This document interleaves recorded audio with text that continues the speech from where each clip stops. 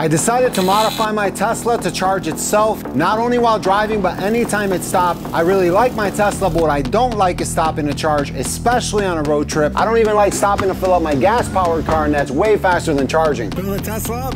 Yeah. Premium? Regular. Once I finish the modification, I'm gonna try to do a 1600 mile road trip without ever touching a charger. Let's go.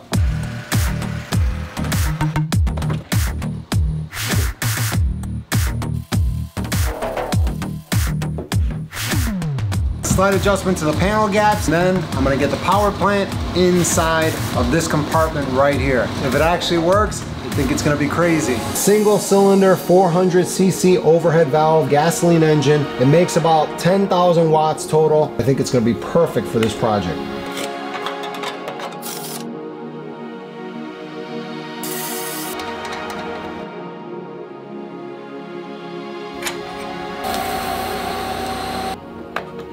Everything's ready to go. I'm gonna start it up real quick and give it a 30 minute test run at full throttle and then mount this in the car.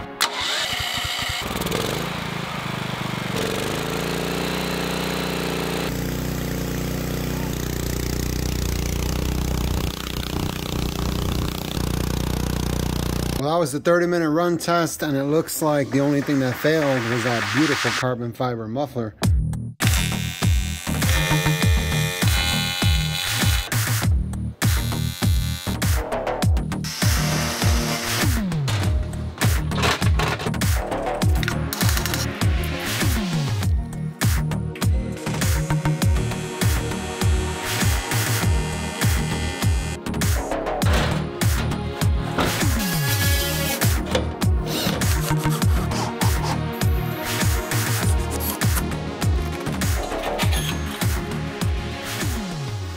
I'm all done building the cordless Tesla, and this was way more work than I thought it was gonna be, so I'm completely out of time. I don't even have time to test the system to see if I have any problems. I'm just gonna have to start it up, let it start charging the car, hit the road, and head to my first destination, which is Jurassic Gardens. After that, I'm gonna drive all the way around to the other side of Lake Michigan to see Nick and his jet-powered pontoon boat. Let's see if I can make it.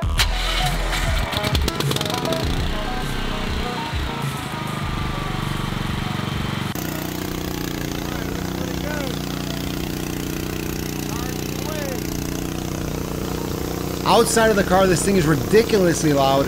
So I did a sound level check inside the car and surprisingly it's only 70 decibels. Perfect for a road trip. For some reason, I'm a little bit nervous. I don't know if it's because it's the first time I'm starting this up and using it or why, but yeah, looks like it's charging.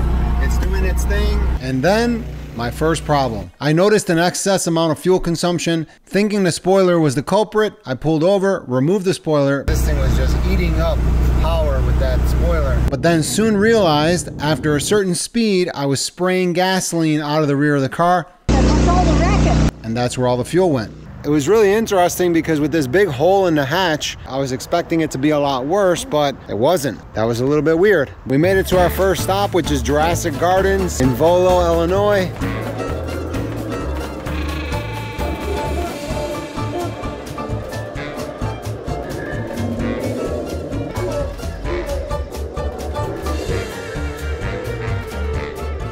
Only at about 40% battery right now, so I'm gonna have to start this engine up, jump on the freeway and head to our next destination, which is Nick with the jet-powered pontoon boat in Michigan. Let's go. Charging needed to reach destination. I guess we'll see about that.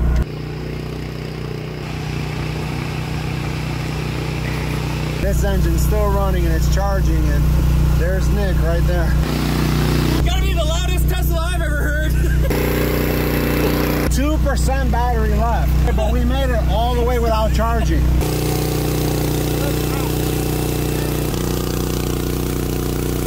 I made it to Nick's house, leaking fuel for the last 100 miles, and this thing is a beast. This particular power plant is completely ported. It's all electronic. It's controlled by that controller box over there. It's the next day, and we're back at Nick's place. There goes Mozzie. I'm just gonna leave the Tesla here charging itself back up to replenish some of the energy I used driving here from the hotel. while I go check out Nick's jet pontoon boat. What's up, Nick? How's it going? What's going on, man? Yeah, it was cool at night seeing that come up the driveway. There's like a torch glowing behind it. Definitely haven't seen a Tesla like that before. So the pontoon, saved it from the salvage yard. Nothing special, it's a 25 foot pontoon. I can see the jet engine from here. That looks pretty wild. Here's the engine. Westinghouse J34 turbojet. J34 turbojet. What else would you do with a jet engine except mounting on a pontoon boat? What's this engine out of? Where'd you get this engine from? So this is from a P2 Neptune fighter jet. Oh, nice. And to give you an idea how much air this engine pulls in, it is a turbojet, not a turbofan. What does this pull in? So at max thrust, you're looking at 55 pounds per second of air. 55 pounds per second. Think about that for a second. You don't want to be there when that engine's running. If you think 55 pounds per second is a lot coming in the front, wait till you see what comes out the back. One, two, this is only a two-seater. I'm just gonna guess that no standing passengers on this ride. And then this entire front section here that's gray is the compressor section. So this is where the air comes in. This is multi-stage compressor. This is where the air gets compressed. Right around here is where the fuel gets injected. It's got 50 fuel injectors inside of it. This here is the combustor section or the turbine section. This is where all the heat and fire happens. And Nick's just gonna spin it up and start it just so we can hear how it sounds because I'm definitely coming back here after he has this running. Got a fuel pressure gauge, tachometer, oil pressure, and our EGT temp. So is that from the original fighter jet? Yes, it is.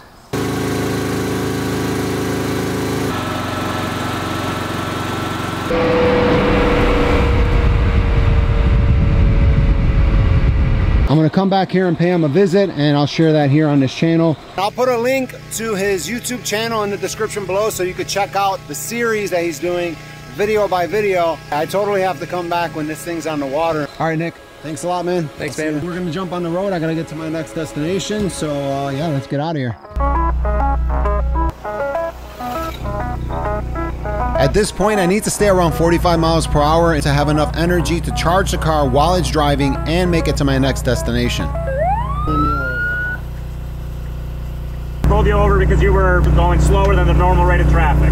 If I go faster, I won't make it. I can speed it up a little bit, and then I gotta pull over and wait like 15 minutes, and then I could go and speed it up again. It's a thing like time versus distance. What I'll do is when I get back on, I'll just do 55, Yeah. and then once I get down to 3%, I'll pull over, let it charge, get back on and do 55. Okay, good. And Okay. I'll, I'll get this going and then we Okay. can chat here, okay? Okay, thanks. Since half the day is gone and I didn't leave the car charging itself up overnight last night, I'm running very low on power and the car needs to charge itself back up. So after getting pulled over, we went to Tractor Supply, Menards, stopped at the gas station to top off the tank, That's where the gas is? Damn, bro.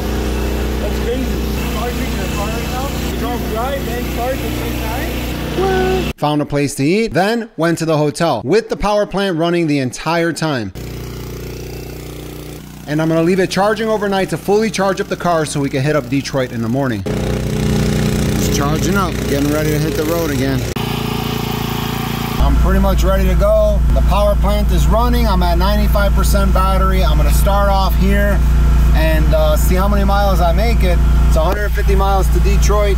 I should be able to make it no problem, but I'm trying to do about 400 to 500 miles straight without stopping today. So let's see what happens. The way I have this set up is sort of a hybrid. As I accelerate, you can hear the engine start to take up the load. So it's working pretty much exactly how I designed it. We're about 90 miles away from Detroit. I'm experiencing something interesting. This is starting to feel like a regular road trip without the range anxiety. I'm doing about 70, 72, a pretty good speed. I'm gonna arrive with 28% battery remaining, which is perfect. I could just use the bathroom, grab something to eat, leave the car, sit there, and continuing to charge and just jump right back in the car and drive. I am gonna need to fill up with fuel at some point here.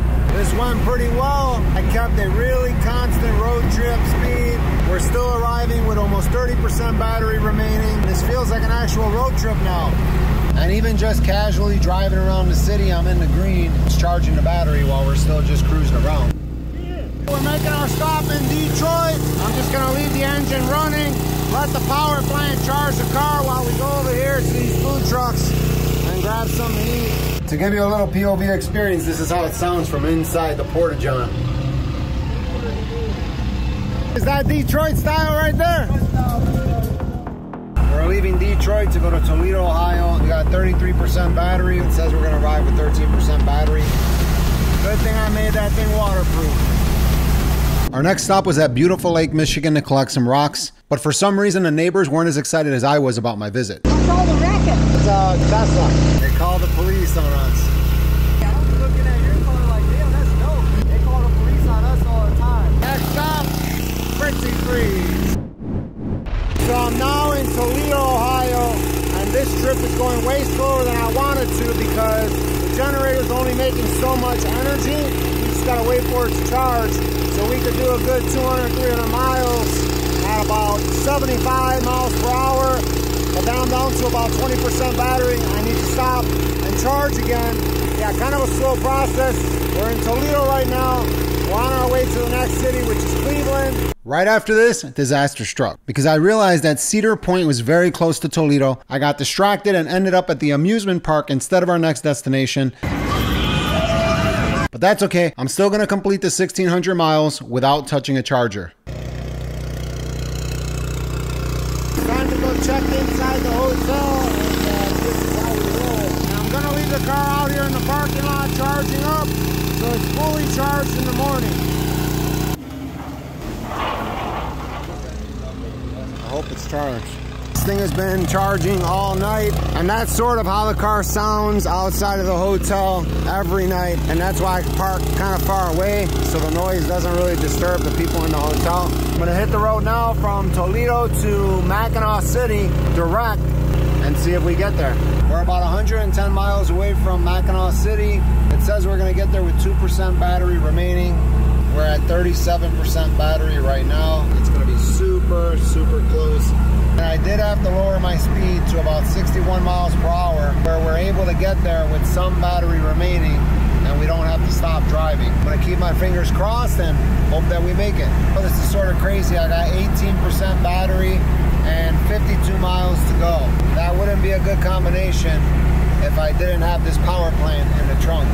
And the scary part is, if anything were to happen to my power plant right now, and if it were to break down, we would be completely stranded because there are no chargers within 50 miles of where we are right now. The car is factoring in that extra power into our state of charge on arrival. We finally arrived at our destination, Mackinaw City, with 3% battery left. The only thing I have to do now is check into the hotel, find a place to park, and leave the car outside overnight to charge itself back up. It already went from 3 to 4%, and the car just starts charging up by itself. Wake up in the morning and head to our final destination, Mackinac Island.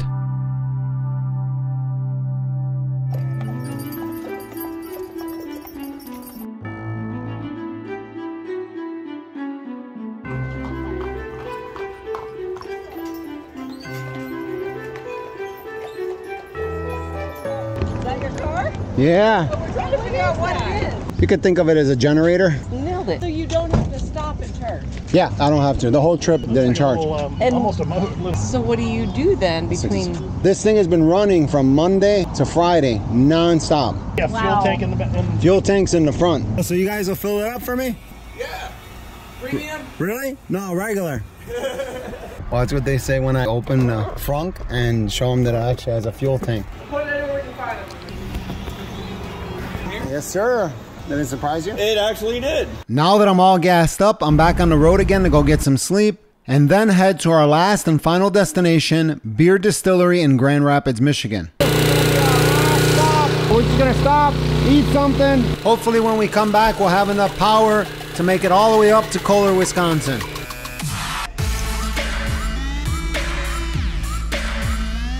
I got the Dutch Boy Burger. My co-pilot got the sausage and mashed potatoes. She said it tastes absolutely amazing. I've been on the road for so long and I'm ready to eat. Not only are they really nice people and have amazing food, but I'm actually here for another reason. Something really crazy that I'm working on for an upcoming video. Stay tuned for that, but for now, we have enough energy to get back on the road and complete the final leg of our trip, Kohler, Wisconsin.